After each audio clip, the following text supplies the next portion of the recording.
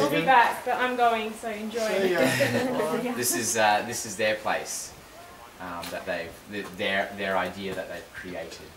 Um, but we also want to um, acknowledge the traditional owners of the land, the Wajak Noongar people.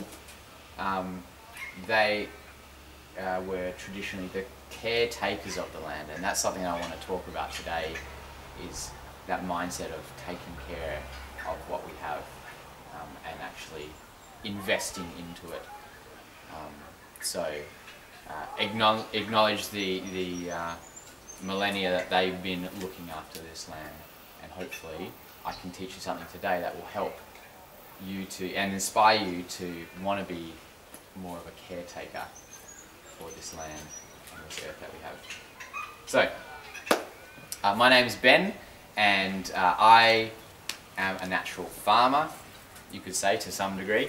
Um, I've been doing natural farming here for the last year, uh, the Korean natural farming, and before that I was working at Perth City Farm um, and a little farm called Baha before that. So, been doing it a little while. I would say that I still have a lot to learn, but um, I think the more you learn, the more you realize you have to learn. So that's where I'm at. I also uh, host a podcast called Probiotic Life. You might have uh, uh, heard that. And uh, that's really all talking about uh, microbial stuff, uh, how we, how um, microbes are essential for everything in our life. So soil health and human health and everything in between.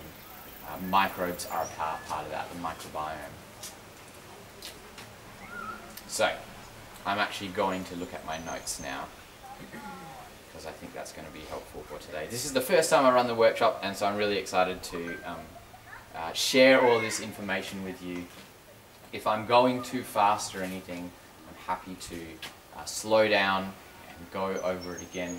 We do only have uh, two hours together today. Um, okay, if you haven't ticked your, your, na- your name off the list, uh, tick, you, you can tick your name off the list. This is the donation tin there. Um, that would be great if you could make a donation just for the um, tea and the coffee and just to be a part of the space as well. Um, and now, what we're going to do, just to sort of get a bit of activity and movement going, is I'd like you to find someone that you don't know and say hi to them and share with them what what interested you. Why did you come today? And and just for like two or three minutes, we'll just share with each other uh, what interested us about coming here today. Does that sound good? Great. Yeah. Awesome. Okay. Somebody that you don't know. Phil. Phil. Oh, hello.